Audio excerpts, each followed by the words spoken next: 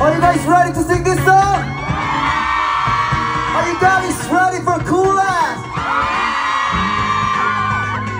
Now let me go there.